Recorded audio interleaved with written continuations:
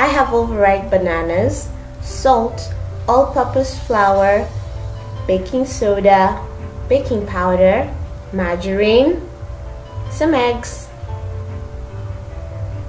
and sugar. You guessed it, yes I am making banana bread. Welcome back to my channel. I need a bowl, a mwiko, a measuring cup, a tablespoon and a teaspoon. I'm going to go ahead and peel my bananas into a plate. Yep, they're super ripe. The browner they look outside, the tastier these guys are going to be in the banana bread. So if you enjoy these kinds of videos from me, please don't forget to hit that thumbs up button, comment down below, and also subscribe to my channel if you're new here. Then I'm going to go ahead and mash them up. Doing it in a plate with a fork is much easier. And since they are so overripe, mashing them is such an easy job.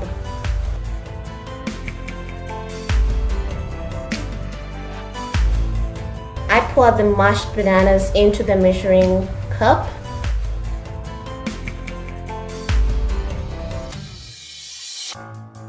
I have two cups of mashed banana.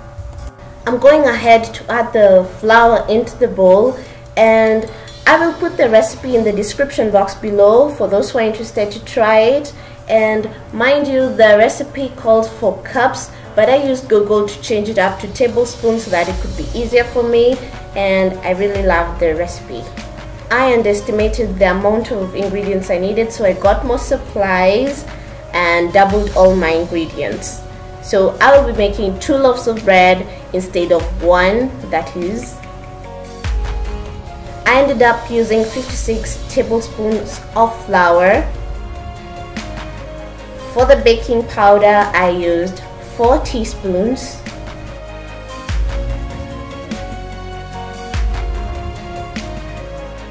For the baking soda I used a half a teaspoon.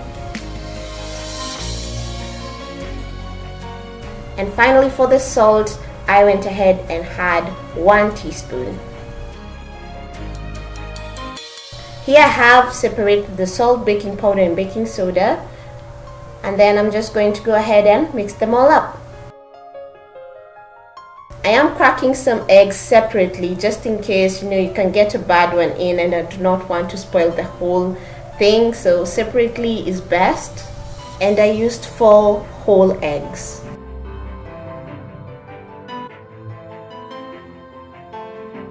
Here I'm adding some sugar. When I doubled the recipe, it calls for 20 tablespoons of sugar, but I decided to use just 10.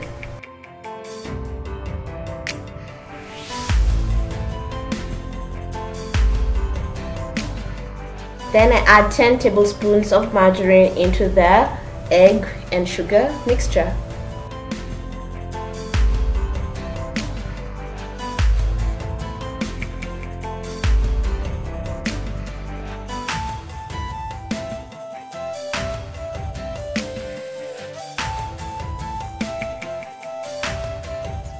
I'm going to go ahead and mix this all up. At this point if you have an electric mixer mixer it will work best. It is really tedious to do this by hand. And then I'm going to pour all this up into the flour and mix it all up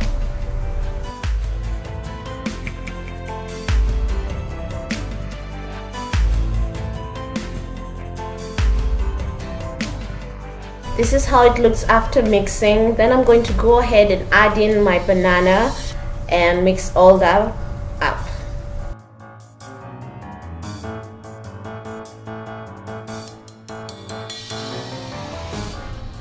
This is how my batter looks. It's sticky and gooey and I think it's ready. At this point, I'm just going to go ahead and turn on my oven to preheat it to 180 degrees Celsius. I'm going to DIY or make my own baking pan. So I'm just going to use some foil over here.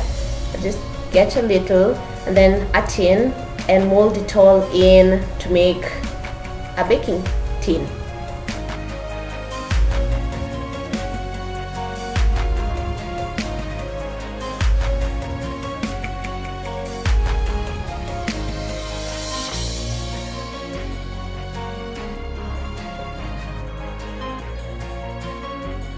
This looks really good. I'm happy with this project. I'm just going to add my bread batter in here and then remove the plastic tin and place this on a harder surface so that it will not lose its shape. Here i'm just uh, oiling my pan with some margarine. Then i'm going to separate my batter into two. So i'm adding this into my first tin spread it well make sure it looks really good and then remove it from the plastic tin, mold it a little, and it looks pretty solid.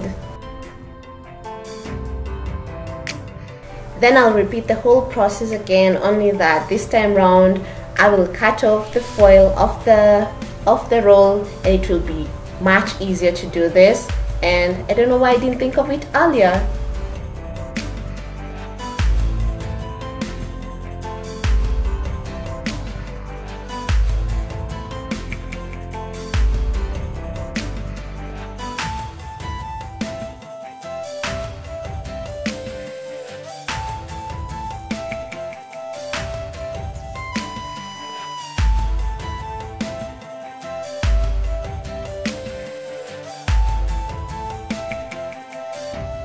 This is how they look. As I mentioned, I'll place some something solid at the bottom so that they do not collapse and it is time to bake.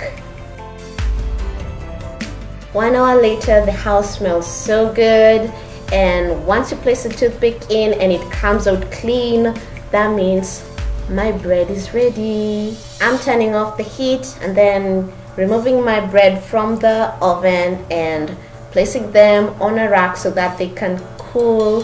So that is all I did to make this banana bread. I hope you enjoyed watching this video. Do the, all the good stuff. Like comment and subscribe. And I'll see you next time. Bye